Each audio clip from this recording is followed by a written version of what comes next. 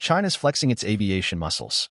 Their new C919 jet is headlining the Singapore Air Show, aiming to rival Boeing and Airbus. The C919, developed by the Commercial Aircraft Corporation of China COMAC, made its international debut at the Singapore Air Show in February 2024, where it performed flypasts and attracted hundreds of orders. The C919 is a symbol of China's Made in China strategy, which seeks to reduce its dependence on foreign technology and boost its domestic innovation.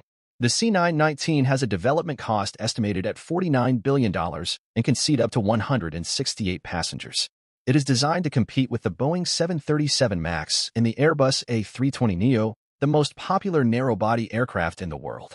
COMAC has received over 1,000 orders for the C919, mostly from Chinese airlines, but also from some foreign customers, including a C919 jet, in a deal estimated to be worth $2 billion.